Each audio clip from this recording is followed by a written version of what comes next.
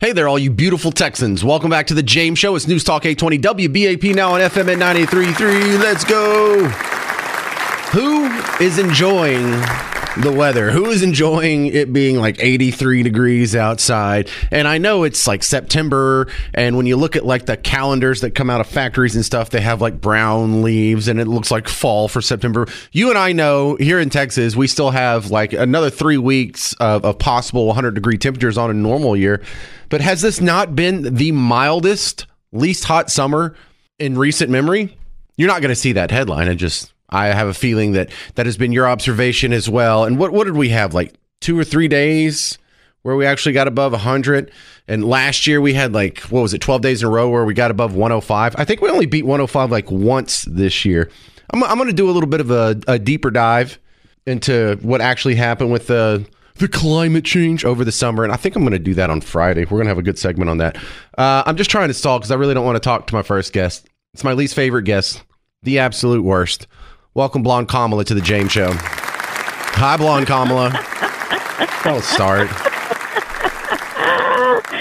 It's so good to be here with you. This is so fun.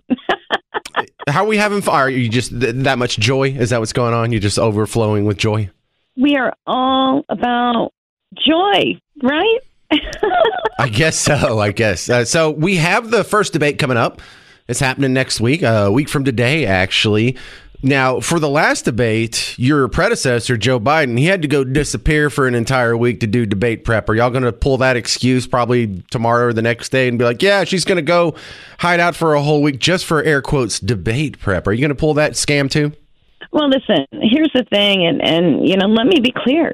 Sure. We are as prepared as uh, you know we can possibly uh, be prepared for anything, right? And you know, if we don't come up with some excuse to get out of this, then we're going to be there. Are you going to ask for any more rule changes between the the cackling? Do do you have any more rule change requests that are going to come down the line? Well, you know, uh, you know, our team is is working on some of the things that you know we we think should be just automatic. You know, I you know I I think that I should have Tim up there with me. You know, I mean, why not, right? No, no, no, no, no. You can't have Tim up there at the debate. You got to do this by yourself. They, they told you that, right? You have to do this by yourself. Wait, what? No, Right. Listen, hey, hold on. I, I I'm I'm going to speak to my team, and uh, you know, um, we're gonna we're gonna do some things. Well, you know it's going to be live. Like we can't record it in advance and and go edit it out. Did they tell you that part too? Okay, listen. Here's the thing. Uh, n- uh, nobody informed me uh, uh, of, of any of these things, and this is the first that I'm hearing of this. And we can't do this. it's going to be a no. It's going to be a no. I suddenly I feel very ill right now. All right. Well, that would be breaking news if Kamala Harris, uh, blonde Kamala, is backing out of the de- debate on our uh, show here. So uh, we'll, we'll we'll keep an eye on that. And see if we can confirm that after the interview. Uh, what have you been doing for debate prep thus far, blonde Kamala? Well, listen, we, we do a lot of different things in order to be as prepared as possible for any line of, of questioning. And, uh, you know, I, I won't be able to apparently uh, let, let uh, Donald Trump know that I am speaking, um, apparently. So that's unfortunate. But uh, listen, we, we have lots of things to talk about, um, particularly joy. We're going to be talking about all of the joy that we're going to be bringing to um, America and Americans, and that's that's what we're going to be doing. Okay.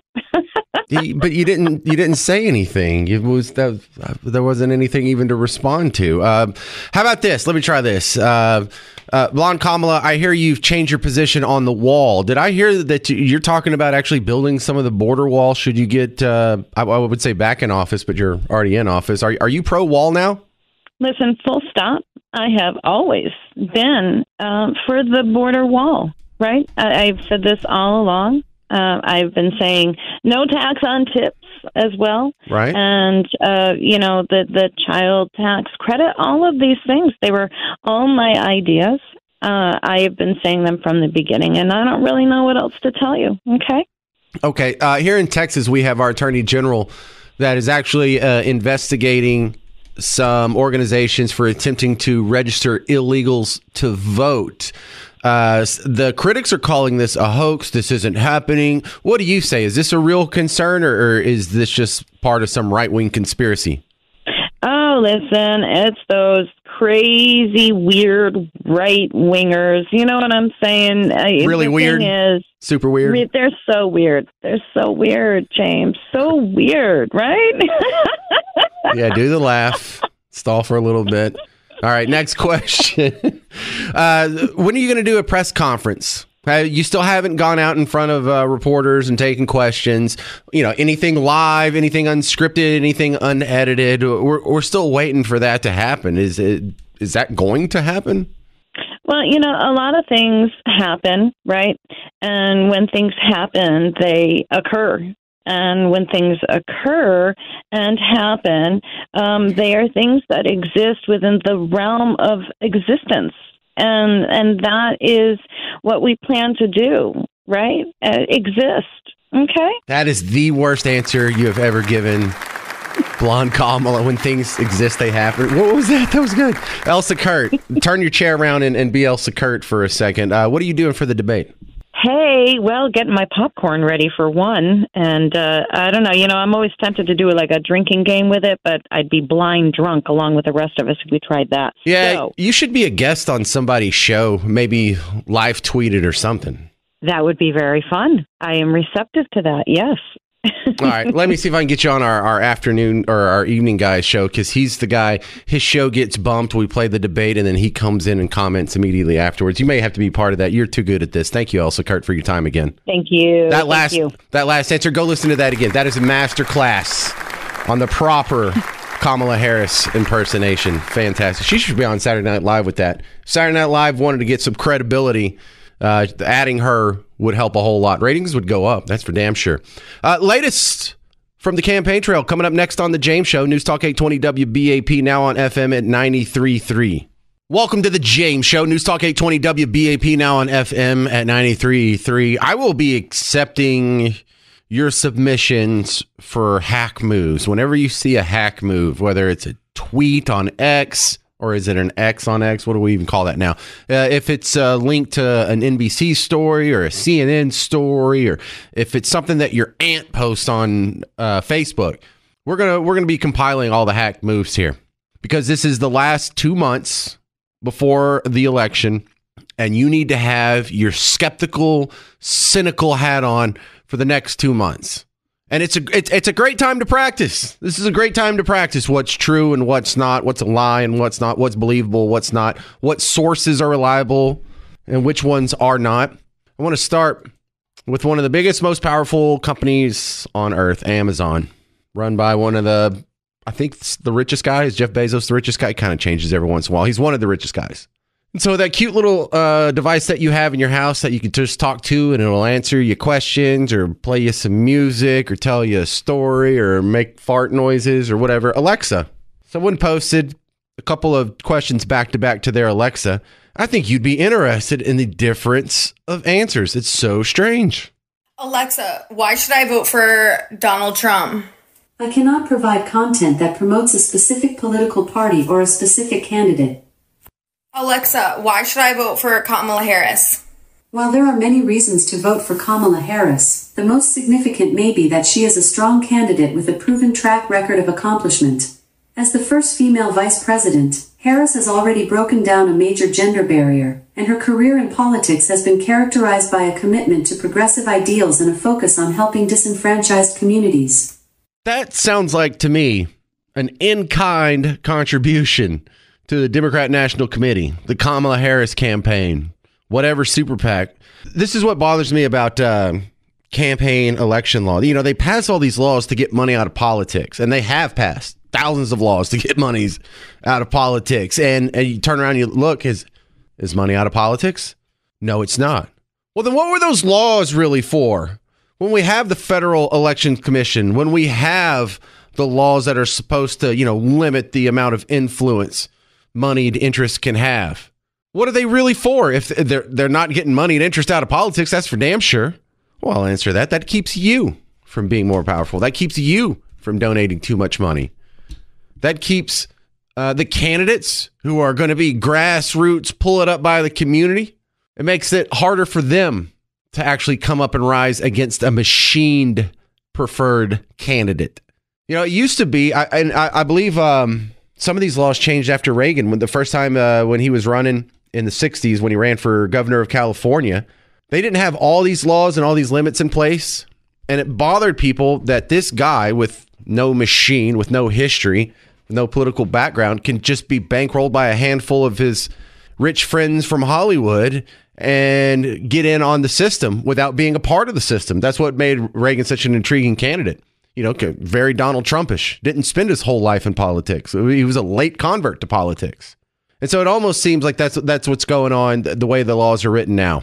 You either have to be in the machine or you're going to have a really hard time catching on. Ask RFK. Ask Ross Perot. I mean, Ross Perot was a billionaire. Could have damn near done it all by himself if he wanted to, to liquidate his entire life. Can't blame him for not doing so. But this uh, this this really hasn't had the effect that it was that you were told it has. And then here we are with federal election laws. It looks like this what ju- what you just heard that 36 second audio clip. That is not an unbiased platform with a unbiased algorithm giving you unbiased answers to questions. That is clearly politically biased. And so, how does this not count? You would have to pay good money to get that message out to the American people if you didn't have the assistance of the biggest, most powerful corporations on the planet. And how come almost all these corporations are for Team Blue?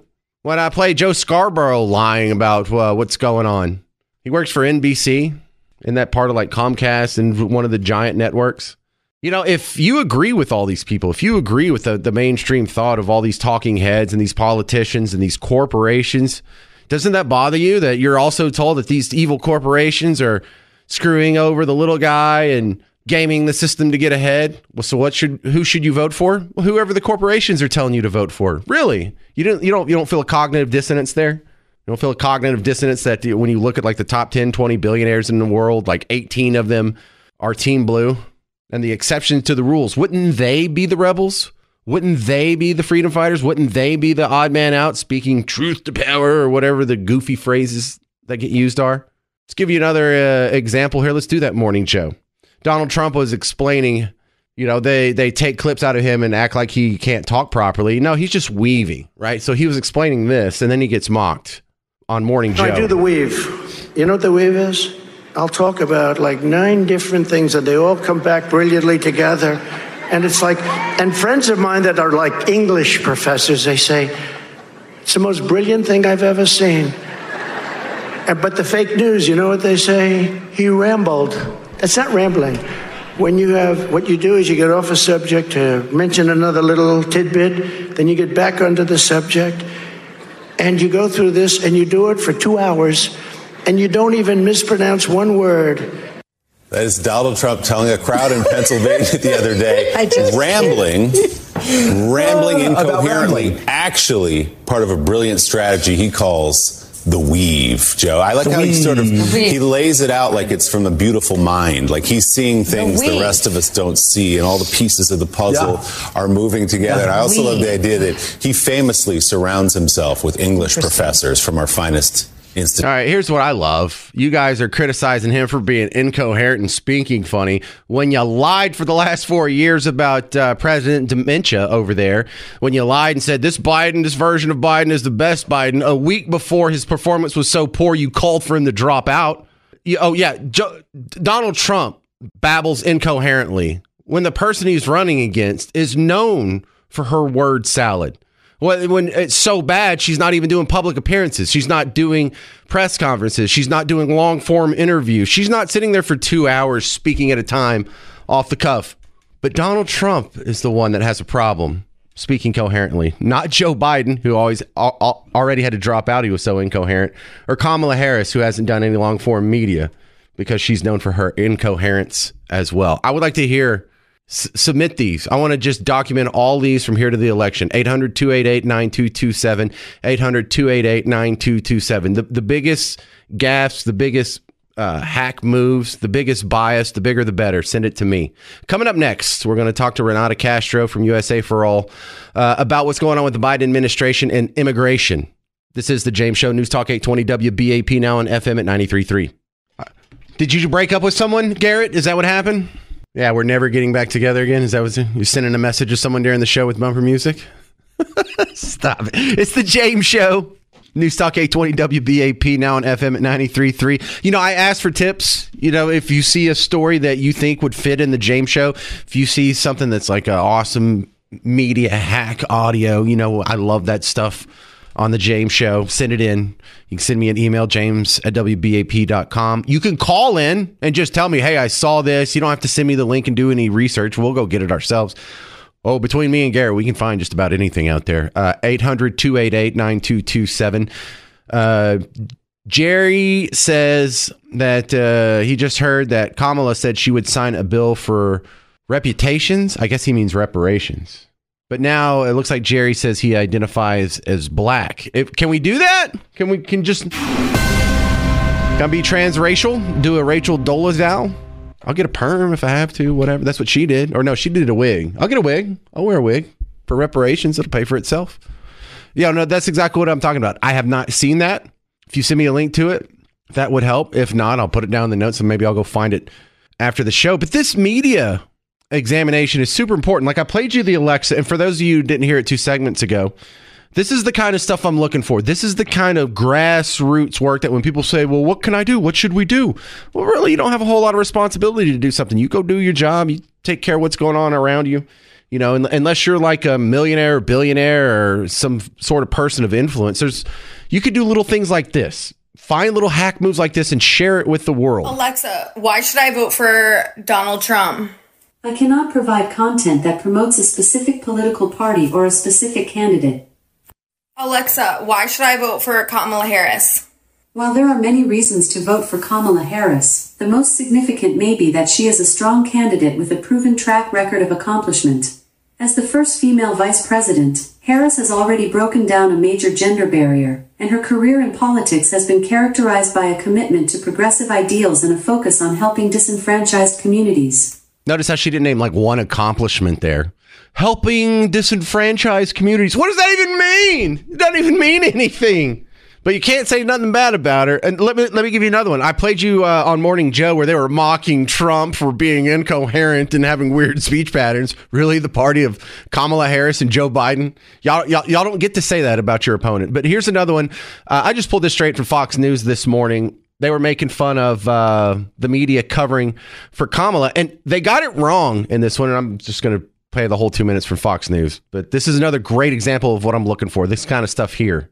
Welcome back. NBC issuing a correction. A correction after Meet the Press anchor Kristen Welker, quote, incorrectly implied that Vice President Harris was at the dignified transfer of U.S. troops killed during the Afghanistan withdrawal at Dover. Brooke Singman has the story. Brooke. Yeah, Brian, Kristen Welker making that claim Sunday during an exchange with Arkansas Senator Tom Cotton. Now, Cotton was criticizing President Biden and Vice President Harris for ignoring Gold Star families on the third anniversary of the withdrawal from Afghanistan, where 13 service members were killed during an attack at Abbey Gate outside of the Kabul airport. Former President Trump attended a ceremony to honor the fallen service members at Arlington National Cemetery last week, but Cotton pointed out that those families also invited Biden and Harris. Listen to this. You know who the families also invited? Joe Biden and Kamala Harris. Where were they? Joe Biden was sitting at a beach. Kamala Harris was sitting at her mansion in Washington, D.C. She was four miles away. Ten minutes. She could have gone to the cemetery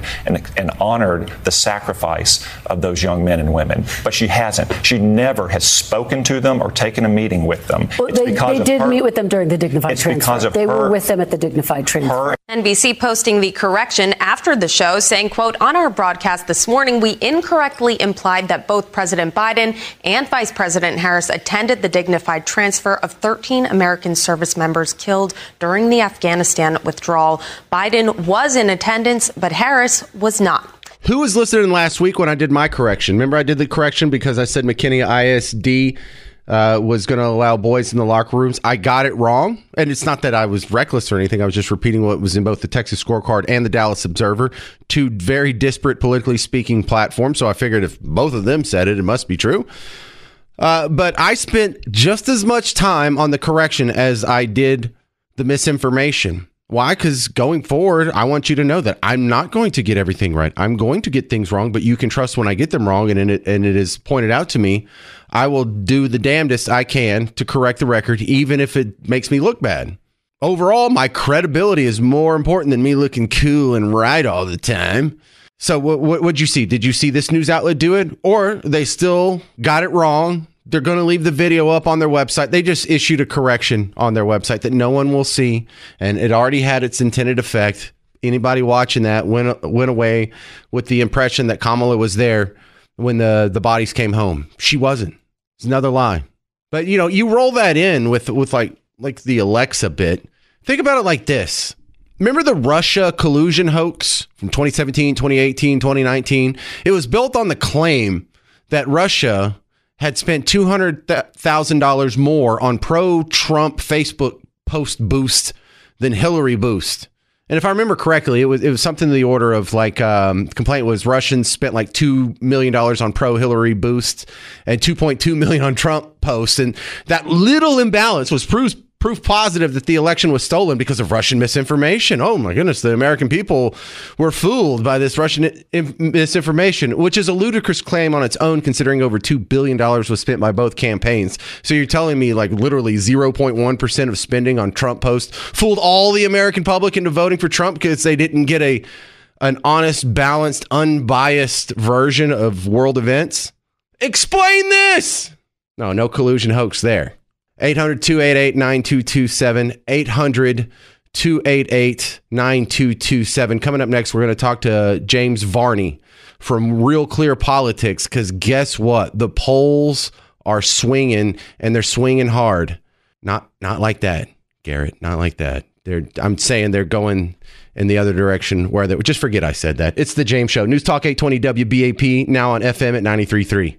Hey there, all you beautiful Texans. Welcome back to the James Show. It's News Talk 820 WBAP now on FM at 93.3. Let's go.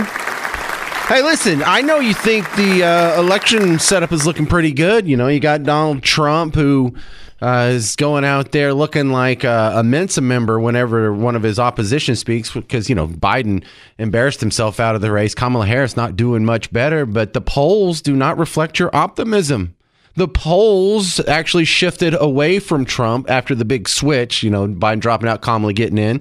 She rode a little bit of a wave through nominating Walz and then through the convention. And that wave has turned around in a lot of the polls, but uh, you're not in the clear yet. If you knock out the toss up states right here, I'm going to realclearpolitics.com, look in the electoral map. If you knock out the, the toss up states, Kamala's winning.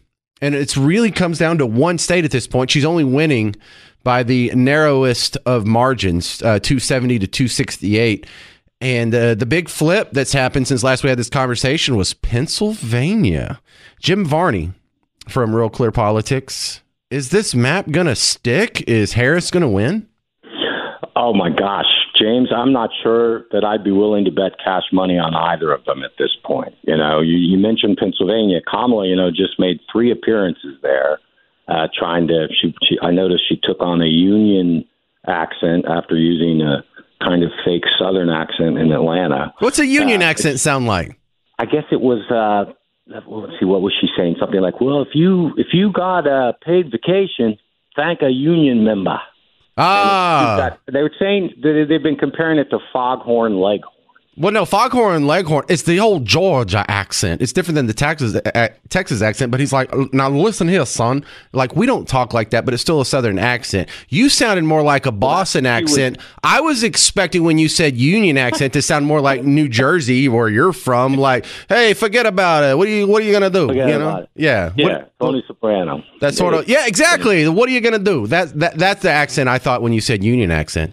Well, I, I should have maybe I misspoke because Foghorn Leghorn, which was never my favorite cartoon, but anyway, that's who they've been comparing it to. And the point is, is that she adopts whatever voice she thinks will pander the best to the audience of the moment. Well, Varney, it's your, working. Your question about winning, yeah, Yeah. Your question about winning, you know, she's been in Pennsylvania three times. Uh, we know she's got endless money. She's got all the media.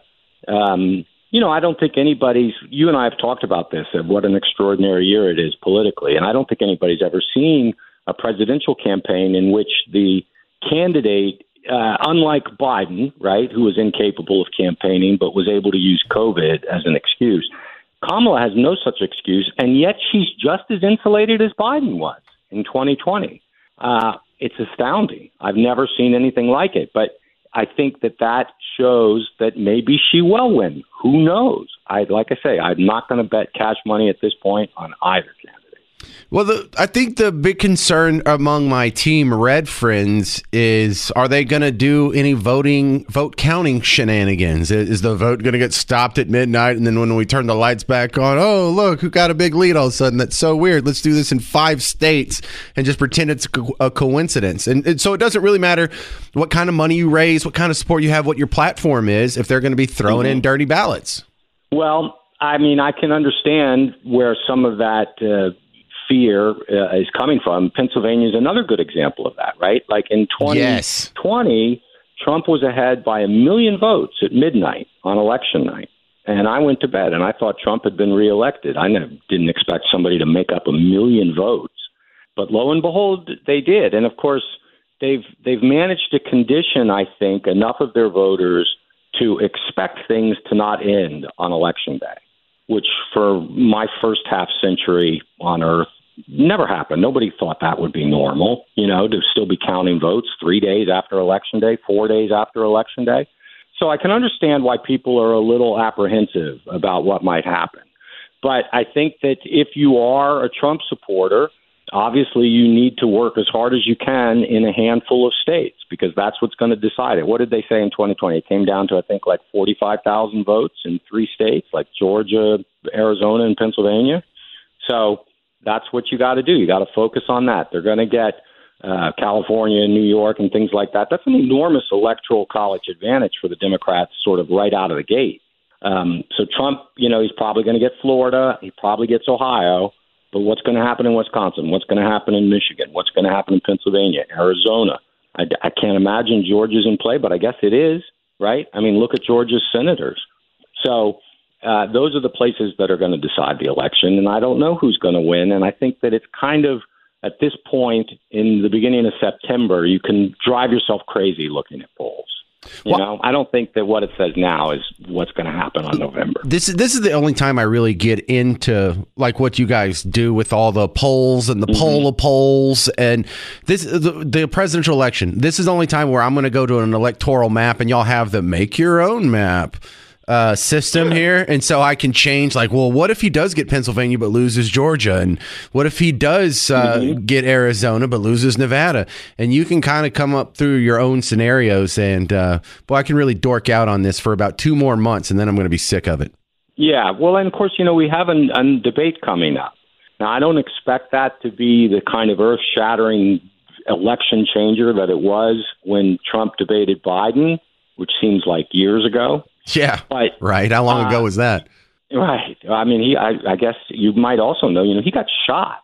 You might have. I didn't know if you heard about that. So a lot of things have happened that people seem to have forgotten about. But in any event, I would think that he will have a big advantage over Harris in a debate, and that if he keeps his cool, that Yes. he probably wins the debate, and then it'd be interesting to see what happens. That's what everybody's saying that calls into the show. If he keeps his cool, he can come out uh, way ahead on this one. But he, he really has a chance to shoot himself in the foot, and a, a lot of people are kind of worried about that. What What's your latest work over at Real Clear Investigations, Varney? Well, we finished up uh, with part three of sexual misconduct in K 12 schools, and uh, we have a story today about how melatonin probably doesn't really help you sleep. And I'm working on something that will take a look at the spending. Uh, you know, the Biden's huge bills. Everybody knows about the Inflation Reduction Act, but there was also, you know, the Build Back Better, the infrastructure, the chips, and there was another COVID package. So that's why everything at your grocery store now costs five dollars when it used to be three fifty. Um, and so we're going to take a look at a lot of that money is unspent. A lot of it has gone to some curious players, you know, especially the green energy, that whole kind of scheme, if you will. So we're taking a look at that, and that will be my next thing. All right, that's James Varney from Real Clear Politics and Real Clear Investigations. Thank you for being back on the James Show. Thanks for having me, James. And that's the place to go to. If you want to play with your own little map and do your own little research, Real Clear Politics, there's the electoral map. You'll see it at the top menu. It's great stuff. All right, uh, stay with the James Show. Coming up next, new info in the investigation re- regarding the Dallas police shooting from last week where one officer was killed. You'll get updated on that. If you have any comments, 800 288 9227. 800 288 9227. This is The James Show, News Talk 820 WBAP, now on FM at 93.3. Hey there, all you beautiful Texans. Welcome back to The James Show. It's News Talk 820 WBAP, now on FM at 93.3. Yeah, let's go. Welcome back to the big show. Yeah, good to see you too. All right, so as we're moving along, Trump and Kamala are preparing for their first, maybe only debate. It's going to happen a week from today on Tuesday. Now, I remember the last time there was a debate. Someone had to be locked away for debate prep for an entire week beforehand. Are we going to see that? Let's ask Victoria Churchill. She's on the is the Swingers team at the New York Post. Isn't that what it's called? Uh, it's the Swing State team, so Oh, pretty close there. close. Glad close. to be back on you. Right. So I am I am watching for this because this is a great excuse to hide Kamala from the media, not have her answer questions or do any press conferences or whatever for a whole week. Do you see that happening in the next 24 to 48 hours? Whoa, we've got to disappear for debate prep. You know, it's interesting that you point that out because it does seem like she is sending Tim Walz, she's sending her husband Doug Emhoff uh, to battleground states, but it doesn't seem like she is going to be making too many of those visits herself in the next week or so leading up to the debate. Well, you know, I thought they're just hiding her from the media because it's good for the polls. And as long as she's an empty suit, people can just fill in the blanks with their aspirations like they did with Obama. It worked in 2008. I thought that was the path that they were taking is the Obama path. However, I'm starting to think they're hiding her just because she really is that bad answering questions off the cuff. Well, you know, I think it's a little bit of both. I think, as we've seen both with Kamala and with her running mate, Tim Walz, they do not want to answer questions directly from members of the media, you know, to an extent that even in last week's CNN interview, there was, you know, kind of uh, takes of it running around on the internet that was, oh, you know, CNN has now adopted quote unquote MAGA Republican talking points, uh, asking her questions about issues such as the border, fracking, you know, fentanyl, um, and you know, just issues that are really on top of mind, and of course the economy uh, that are top of mind for just about every American voter, and even CNN was, you know, like I said, was just it basically accused of buying into like a radical pro-Republican agenda, which I think is just absolutely outrageous. Because again, as I've talked about, you know, I really think it's going to be the issues that are going to be the decision maker this year. And then on the other hand, when it does come to those issues, I think you're absolutely right. You know, people are making Kamala Harris out to be exactly what they want her to be. Uh, at the Post, we did a story actually. It was yesterday's front page cover um, of, of the Monday edition yesterday for Labor Day, where a bunch of my colleagues and myself we went around to voters in swing states, asking them why they like Kamala Harris, and really the resounding repetitive answer was that she's not Donald Trump. But when folks were asked about specific policy positions that Harris holds, a lot of them couldn't come up with any. All right, now Victoria, how how young were you in 2008? Because this is exactly what happened with Obama. People uh, were saying to the, the man on the street interviewers, "Yeah, that's my guy. I love him." Name one Obama accomplishment. Crickets. Yeah, I was uh, 11, I guess, in 2008. oh, I shouldn't have asked. You were just a tadpole out there. But well, Victoria, this is something that has worked before. It worked in 2008. Dude got reelected in 2012, and there's a lot of similarities there. Uh, you, you know, there there's no record of uh, any success in a private sector job. Uh, like, actually, let me ask you now, as someone who follows presidential campaigns for a living. Bef- before Obama got elected uh, into public office, what was his job? He was uh, an organizer, I believe, a Democrat organizer. That was kind of his his talent that he brought to the table was being able to connect with quote unquote everyday people. Very good. Yeah, he was just in some political activist nonprofit. He's he's always been a party apparatchik. He had no profession, he had no experience, he had no real job other than being a political activist, being an organizer one of these guys that that works uh, like for change.org or whatever these goofy places are th- these aren't real jobs. He never had a real job. He was he went to law school and became an air quotes lawyer, but he never worked at a law firm. He never tried a case. He was a professor after that, but he never taught a class and never never had a a, a class load, a course load. Uh, you know, he, there there was so many questions a, about this guy. He never did anything, and you would think that would be a disqualifier, but it worked. And so we have Kamala Harris. What what was her job? Well, she was a public defender for a while, but then she got appointed to commissions because she was really friendly with the right people. And then she got elected to a higher office because she was really friendly with Montel Williams and all those celebrities that went and campaigned for her 20 years ago. And her list of accomplishments is right at, the same. It's zero. But Victoria, this has worked before. Yeah. And, you know, again, uh, something that we're doing at the Post is we're trying to hold Harris accountable. But again, you know, as as we've seen even other members of the media, even the mainstream media, is waking waking up to the fact that Harris is really not much more than an empty suit. And you know, I think people are trying to get the answers of what the heck she would actually stand for if she is elected the next president of the United States. And you know, nine times out of ten, we're not getting any kind of answers out of her or other members of her campaign. Right, just not Trump, other... just anything but Trump. All right, so you're on the swing state team at the New York Post. Uh, since the Kamala surge, uh, Pennsylvania has flipped. It was leaning red, then it was a toss up, and now if you take out the margin of error, it's kind of leaning blue. And with that in Kamala's camp, if she wins that state, it looks like she actually has a path to win the Electoral College. You know better than we do. Is that what's really going on in Pennsylvania? Is it really that close? Well, I do think that it is close, and I do think that it is evidenced. The kind of you know evidence backing that up is that both Harris's camp and Trump's camp are spending significant amount of time in the state. You know, as somebody again, as you mentioned, that covers presidential politics very closely, this isn't anything new. But uh, you know, I think one issue where Harris really stands out and how, I guess, kind of how much she realizes Pennsylvania is a must win for her is, of course, the issue of fracking. It employs about 5% of Pennsylvania's uh, you know, workforce uh, is employed in either the fracking industry directly or in other industries that stem from it. And just on that issue, just last week, she flip flopped again twice. Earlier in the week, before the Harris Walz interview on CNN, a member of her campaign team was going out and saying that she would ban fracking. And then on the interview on Thursday herself, uh, Harris said that she wouldn't ban fracking. So, you know, this is just one of those issues where she's just going to go wherever the wind tells her.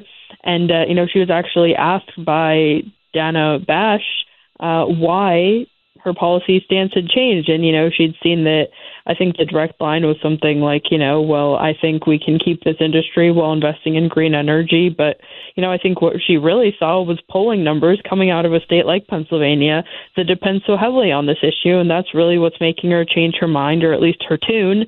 Uh, until she gets elected. And of course, then she'll decide to change her mind again because she'll have other people whispering in her ear about what she needs to do in that case. Yeah, I saw the look on Kamala's face when she got asked that question by Dana Bash. And the look on her face was, Dana, why don't you shut up? You're ruining it for me. All right, Victoria Churchill, you can check out her work at the New York Post. Uh, she's got a bunch of articles up there keeping track of the swing state part of the election. Thank you for your time again, Victoria. Thank you so much. Be back on soon. Yeah, she's going to keep an eye on that Pennsylvania situation because that's that is crucial. Hey, we we have uh, new stories here of teachers acting bad with students. I wonder if all those protesters, the ones that were just worried about kids that were protesting with the, the couple of churches that had sexual assault, I, I wonder if they're going to go protest these schools. Oh, they're not? Hmm. That's weird. What does that mean? We'll talk about that next on The James Show. 800 288 9227. 800 288 9227. It's News Talk 820 WBAP now on FM at 933.